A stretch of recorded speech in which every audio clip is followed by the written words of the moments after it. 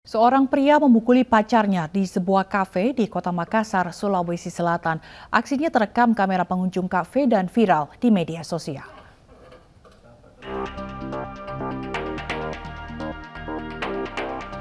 Seorang pria berbadan tambun melakukan pemukulan terhadap seorang perempuan di sebuah kafe di kota Makassar, Sulawesi Selatan.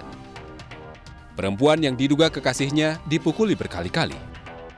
Mirisnya, Teman pelaku yang duduk semeja tak menghentikan penganiayaan. Aksi tersebut baru berhenti setelah diperingatkan pelayan kafe. Setelah videonya viral di media sosial, pelaku pemukulan yang bernama Muhammad Zulfahmi langsung ditangkap polisi. Pelaku merasa kesal dituduh selingkuh oleh kekasihnya. Akibatnya, pelaku memukuli korban sebanyak empat kali dan mencekik leher korban.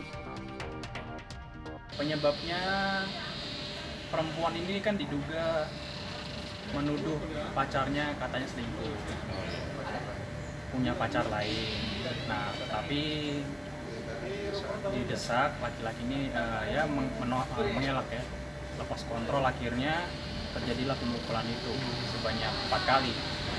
Di pipi kepala belakang dan satu kali dicekek. Keluarga korban berharap pelaku dihukum setimpal atas perbuatannya. Dari Makassar, Sulawesi Selatan, Andi Dery Sungguh melaporkan.